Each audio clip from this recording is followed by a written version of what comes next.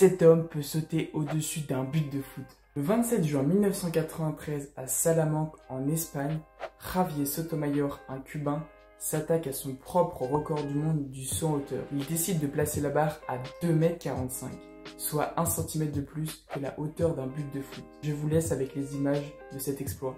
Javier Sotomayor, récord del mundo, 2.45.